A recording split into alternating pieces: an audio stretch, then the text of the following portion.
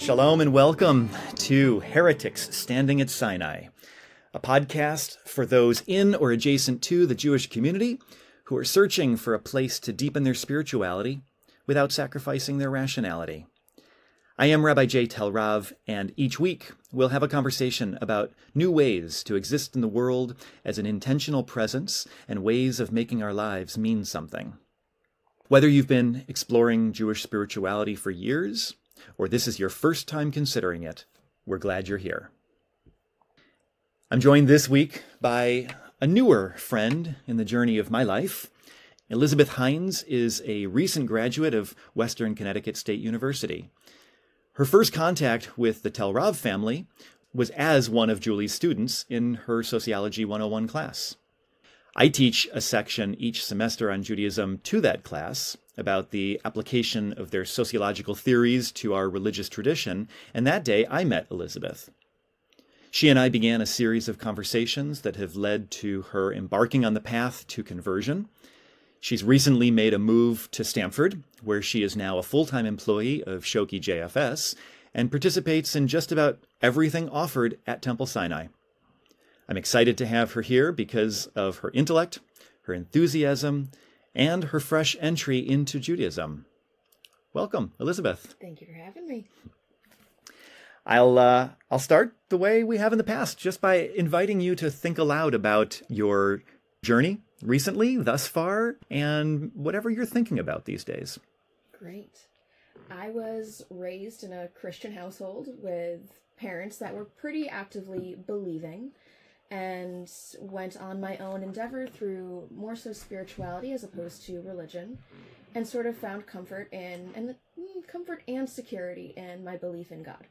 Uh, but tying that to a religion was much more complicated and I sort of stepped away multiple times but more concretely once I got to college uh, and sort of lived religionless for a little while, not faithless, but religionless. And always sort of wanted to try and find a religion where I fit a little bit better. And that led me naturally to Judaism, did a lot of research on my own, and pretty quickly became very interested in conversion, but didn't really know the best way to go about that. I was reaching out to rabbis, and the tradition holds true of being rejected time and time again. So I decided, all right, I'll wait a little bit. And I, a couple weeks later, I walked into your wife's class. So that sort of changed things, and now I am, gosh, probably nine months into the conversion process. I don't know how much longer I have to go, and I'm actually really okay with that. Because right now, my head is full of thoughts on God and what forms I find God in, how I relate to God, and really just loving the tradition that I'm finding myself in. Wow. What a beautiful introduction and a perfect segue into today's topic. The letters that we read from the fictitious Reb Yerachmiel are are all over the map on topics. And so it happens to be that this week's topic, uh, the letter is about God. And since you and I have worked together on on uh, the process of becoming Jewish, um, I've watched happen in you something not uncommon, which is those being welcomed into the Jewish tradition often value very, very deeply the ability to uh, explore, challenge, question, and then to construct their own valid, valued belief in God. And um, and disappointing none. The uh, the letters of Reb Yerachmiel uh, do the same thing, breaking the mold of what might be the expected uh, position on a topic as central as God, and providing us another opportunity. So before we begin reading, uh, this being an experience and exploration of Torah, we'll start with a blessing for the process of learning and making it a part of ourselves. Baruch atah Adonai Eloheinu melech haolam asher kid'shanu b'mitzvotav v'tzivanu la'asok b'divrei Torah. Amen. Here's the letter. My dearest Aaron Herschel, you ask me of God to define the nameless, to place in your palm the secret of the one who spoke and the world came to be. And here it is God is all. I'm tempted to stop with this, to close this letter, sign my name, and leave you with this simple truth. Yet I fear you will not understand. Know from the first that all that follows is but an elaboration of the simple fact that God is all. What does it mean to be all? God is the sole reality. God is the source of all things and their substance. There is no thing or feeling or thought that is not from God, even the idea that there is no God. For this is what it is to be all. God must embrace even God's own negation. Listen again. God is the source and substance of everything and its opposite. There is nothing outside of God. Thus, we read in the book of Isaiah, I am God and there is none else. Not simply that there is no other God, but that there is nothing else but God. It rained heavily during the night, and our village is thick with mud. I walked to the Beit Midrash this morning, and I stopped to watch a group of little children playing in a puddle of mud. They sat in the puddle, oblivious to the damp, and made dozens of mud figures houses, animals, towers. From their talk, it was clear that they imagined an identity for each, a story that told the figure's past and foretold its future. For a while, the mud figures took on independence, a life separate and unique. But they are still just mud. Mud is their source, and mud is their substance. From the perspective of the children, wrapped up in the play of separate figures, their mud creations had separate selves. From the point of view of a casual observer, it's clear that the separate self is an illusion, that in fact they are all just mud. It's the same with us and God. Adonai alone is God, in heaven above and on earth below, there is none else from Deuteronomy Ein Od. There is none else. Meaning, there is nothing else in heaven or on earth but God. Can this be? When I look at the world, I do not see God. I see trees of varying kinds, people of all types, houses, fields, lakes, cows, horses, chickens, and on and on. In this I am like the children at play, seeing real figures and not simply mud. Where in all of this is God? Some would argue that God is a divine spark inside each being. Some would say only within human beings. Others would argue that God is above and outside creation, but I teach neither position.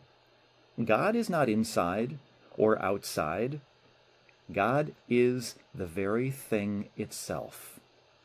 And when there is no thing, but only empty space, God is that as well. I want you to remember two important words yesh and ain, form and emptiness.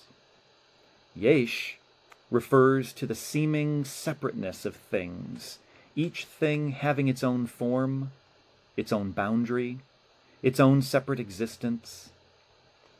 Ain refers to the emptiness of things, to the fact that forms and boundaries are not real in and of themselves, but rather useful constructions of the mind. To feed myself, I must be able to separate my mouth from your mouth. This ability creates the world of Yesh. But it says in Leviticus to love my neighbor as myself.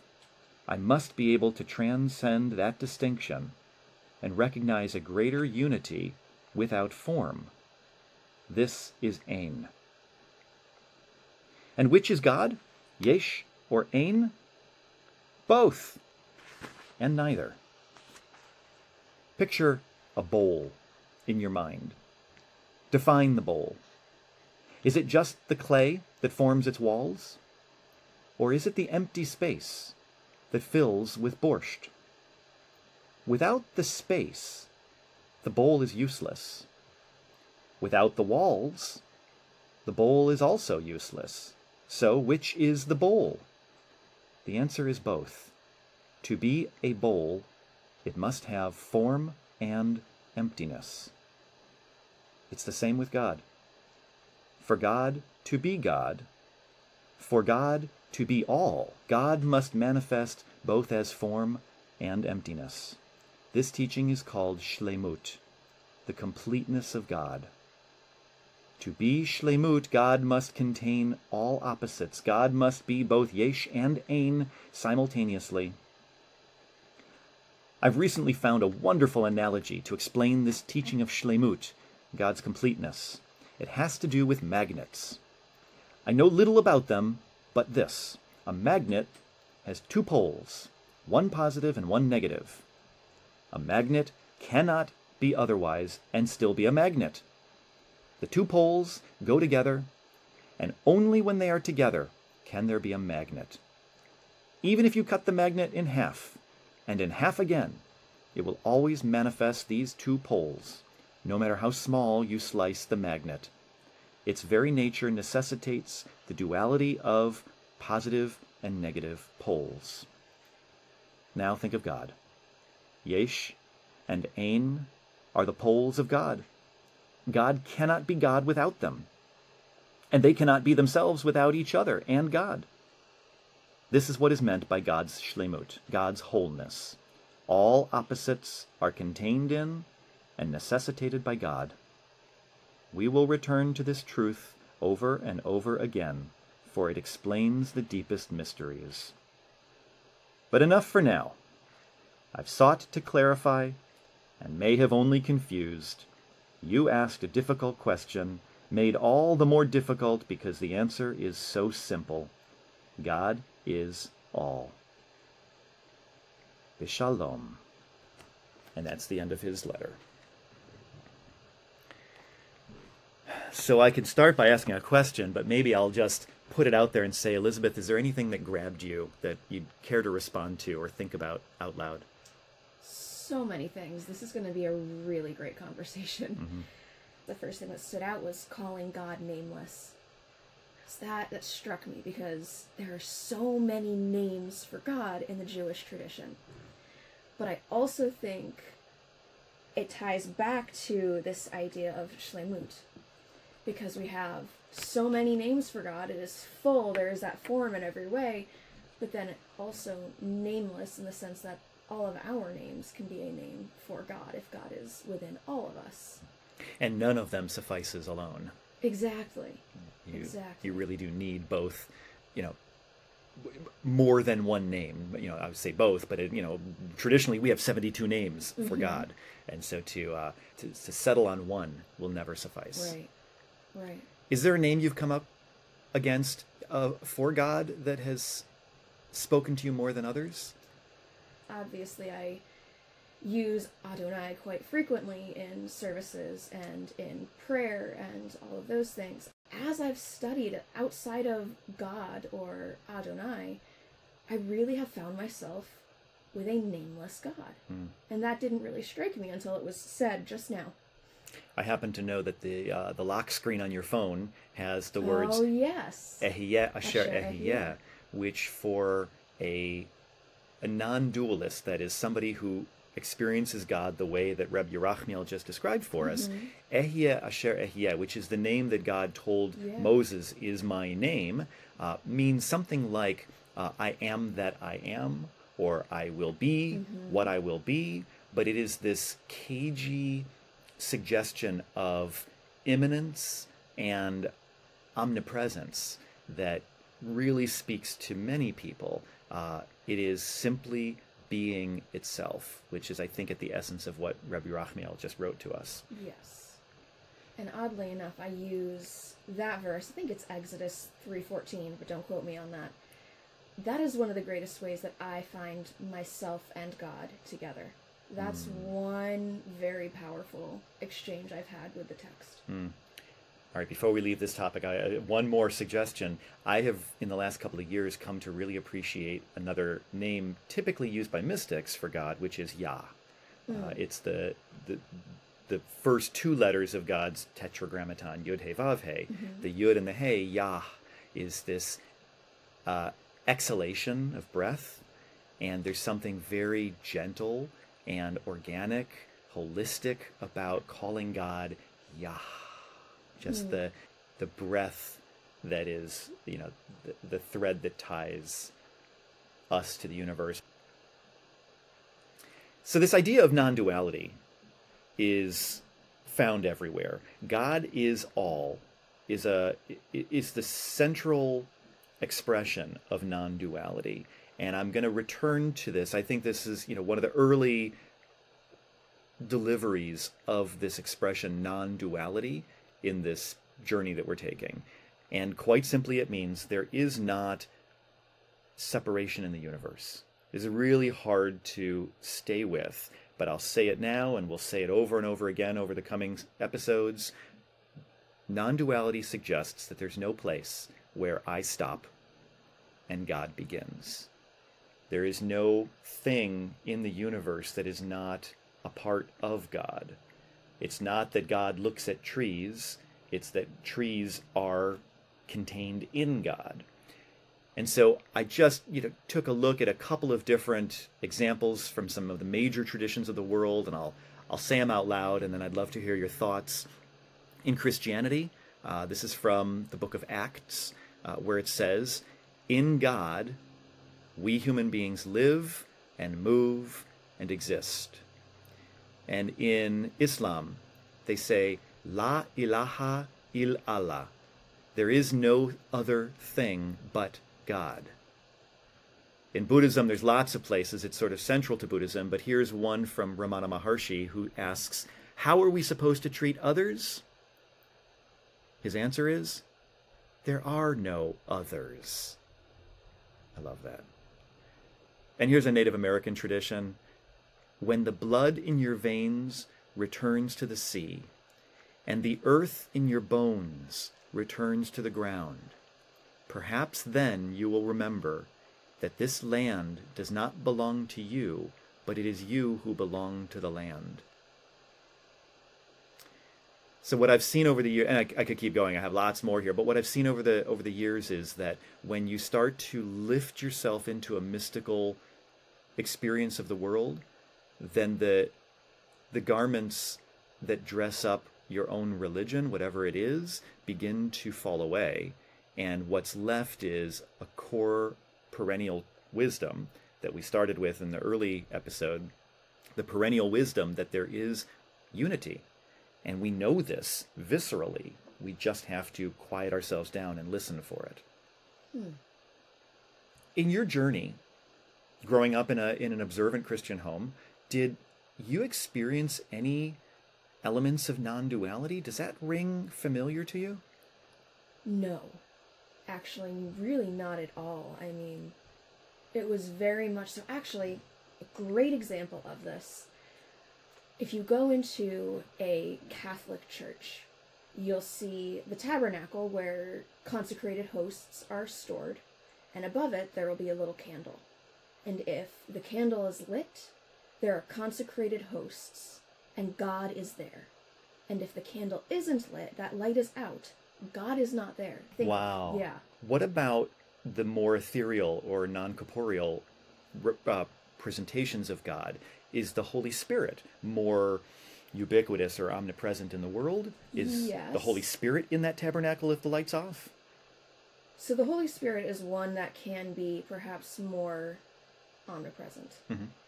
If you're worthy. Hmm. That's the distinction that's always made. You, technically speaking, under Christian theology, yes, you always have access to the Holy Spirit, but you're not necessarily going to feel that presence unless you're leading a righteous life.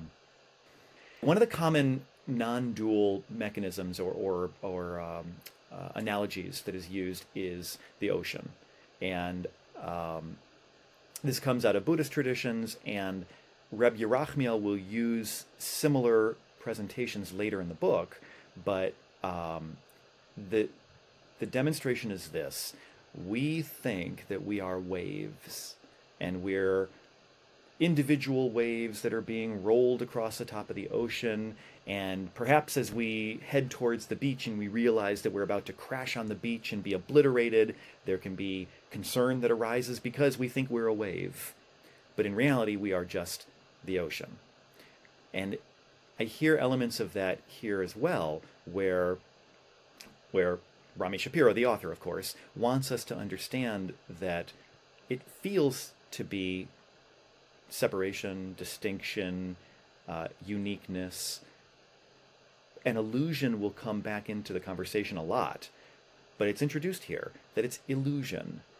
When you you look at the little kids playing in the mud, Mm-hmm. and they think that each of these little mud figures has personality, has experience, is somehow separate.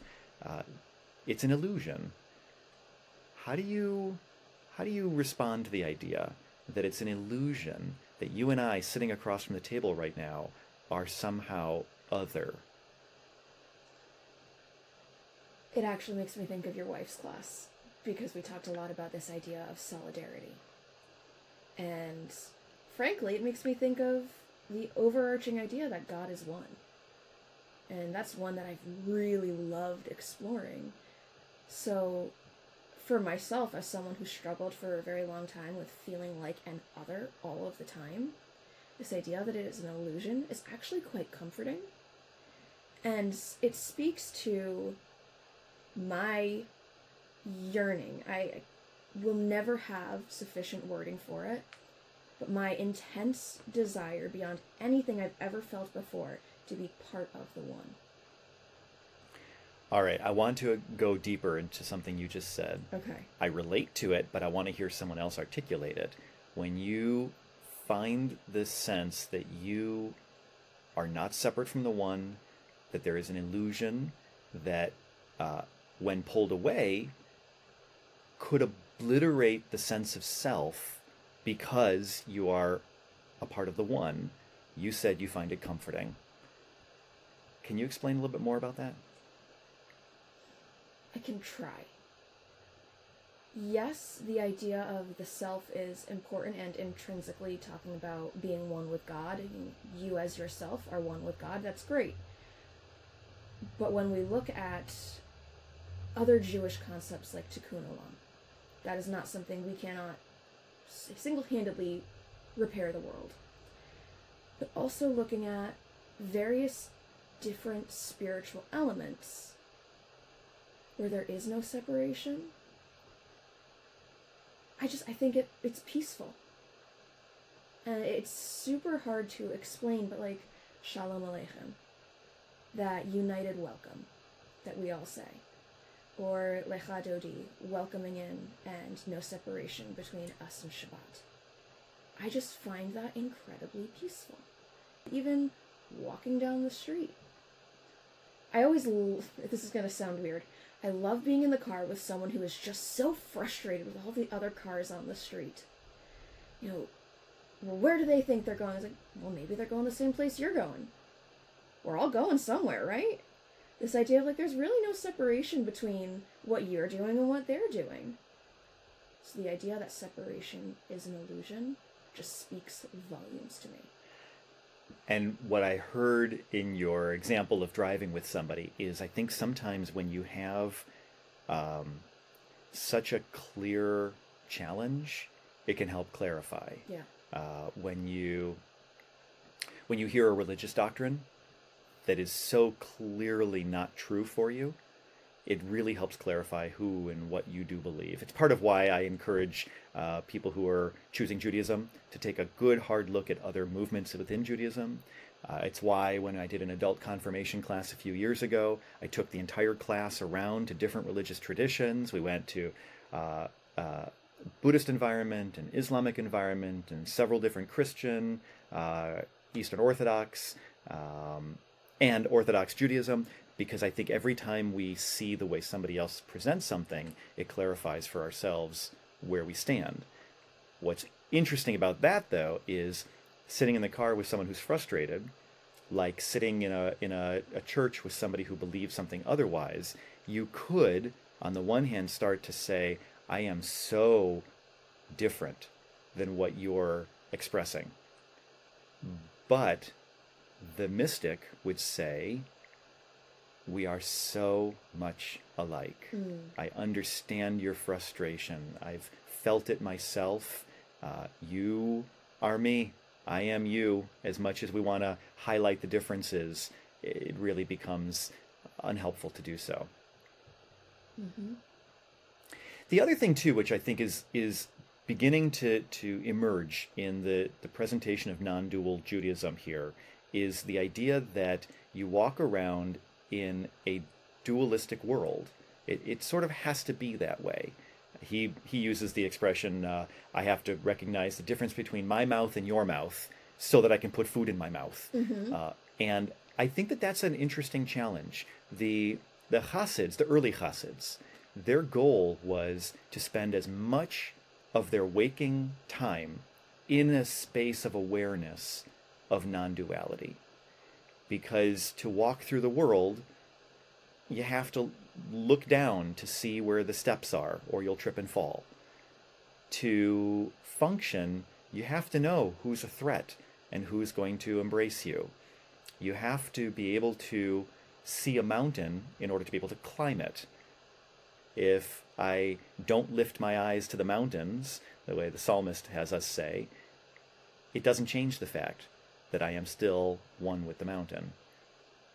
And if you can walk through life with that kind of non dual mindfulness, you're really very, very close to living in the world with God consciousness. hmm That sparks a few different thoughts.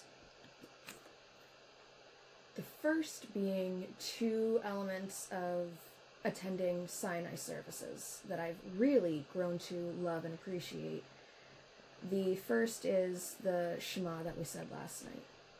I am one, and you are one, and we are one together. I think that perfectly captures Adonai Echad, but also God is all. And the other is the recent change that's been made in Aleinu. Ushemo Echad, Ushema Echad, Ushmenu Echad. I remember, I vividly remember, and will forever vividly remember the first night that that happened at Sinai, and just how impactful it was for me and the person sitting next to me. And I, I was still remote at that point. It was someone else who was not Jewish, and how much it stood out to them. So thinking about that coexistence, that limitless existence, really, between humanity and God is quite important and powerful to me. But I love the direction that you took it in with nature. And I've shared various encounters that I've had with nature and God with you. But the one that I talk less about is my relationship with nature when it comes to sunsets. So, one characteristic of myself that seemingly did not make its way into my introduction was the fact that I'm legally blind. And I can't see much. But I love sunsets. And I was. I did a lot of nature exploration this past summer and just honestly have always had this appreciation for it. Since endeavoring into Judaism, I've sort of implemented my own daily tradition where, as the sun is setting, regardless of whether it's pretty or not, I say Ma'ariv Aravim. It's easily one of my favorite prayers to say. Recently, I was walking home from work, and the sunset was just gorgeous. It was beautiful.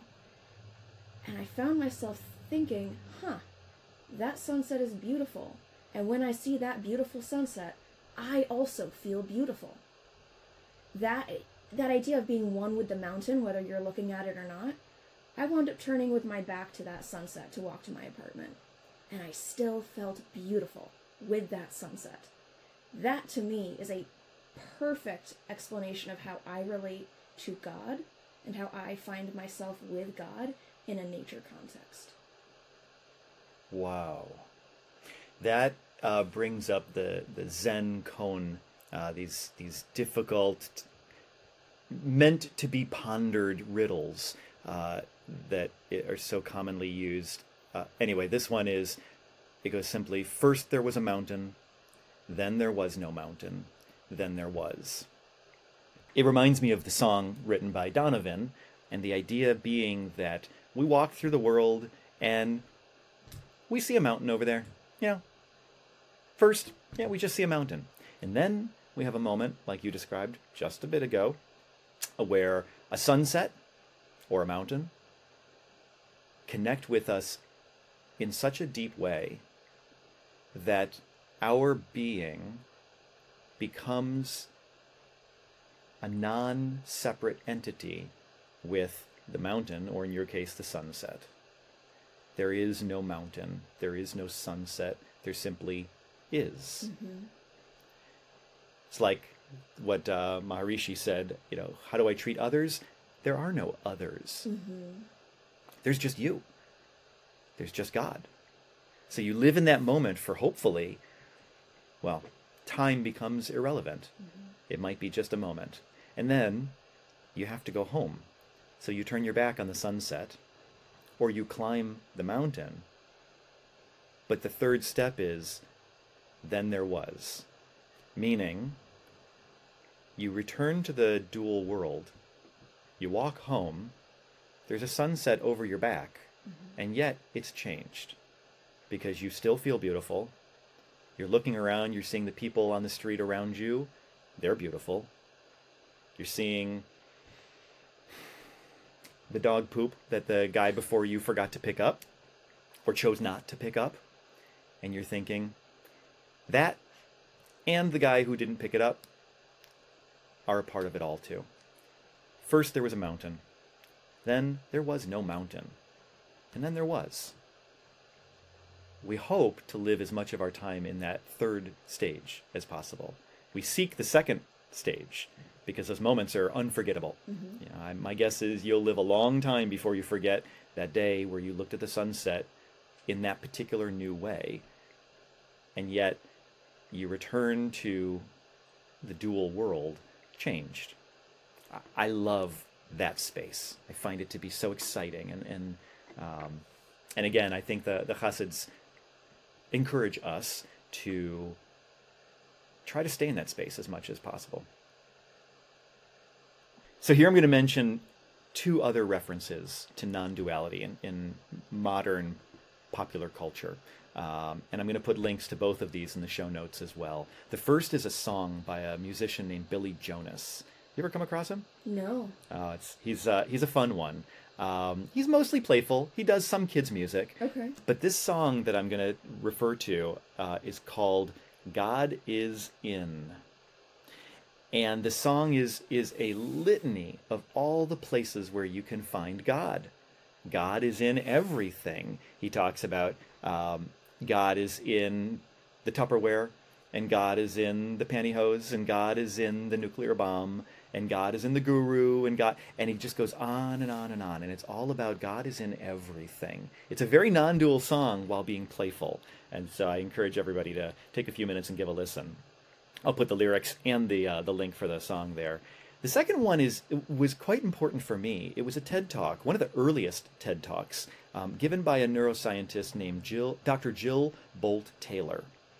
And what's interesting about this is that one day, when she was still a grad student, on the way to the lab, she had a stroke, and she was in her bathroom when the stroke happened, and it was in such a way that her brain was able to sort of still function and watch the experience while it was happening.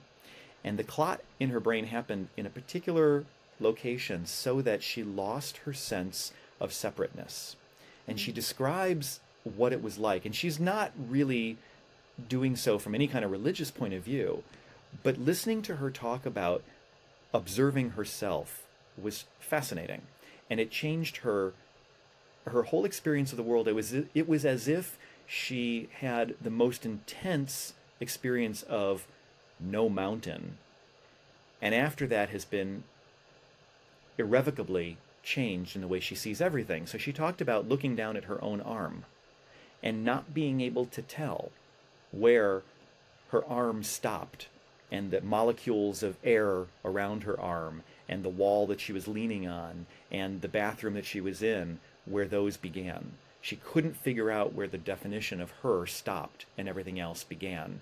And it's the most beautiful expression of a scientific approach to non duality mm. that I've come across. Mm. Um, so, again, I'll put the link for that TED Talk in the show notes. And anybody who's, who's inclined is welcome to seek that out. I think it's worth a, worth a listen. So, I cannot relate to the context of a stroke. But one thing it does remind me of is my complete and total lack of depth perception. Can't see how far away things are to save my life. And depending on lighting and colors, I've had moments where, you know, if my shoes blend in with the ground, kind of looks like I just go straight into the ground and there's nothing separating us. And I use that word us very intentionally.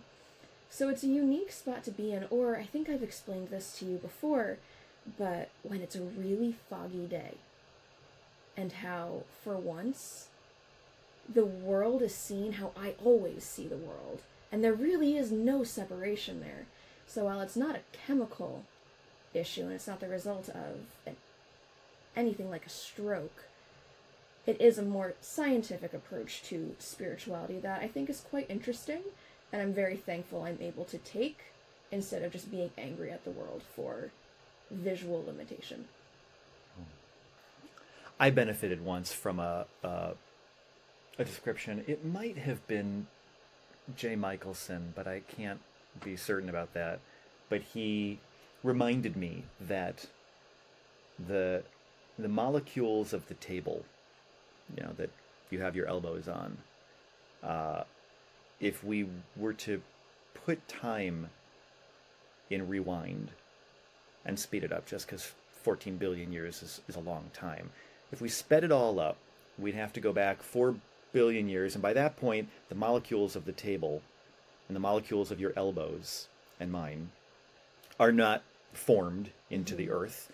Uh, and you rewind even further, and we begin to start making our way back towards one particular spot. And if you look around at that moment, you see that all the universe is all returning towards one spot.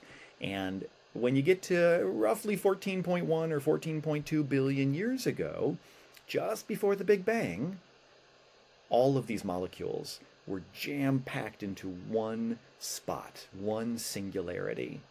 And you know, again, I'm a I'm a I'm a nerd. Uh, everybody knows I love science. I'm a, a, a dork in that way. I think almost every year one of my high holiday sermons is based on the scientific discoveries of that particular year.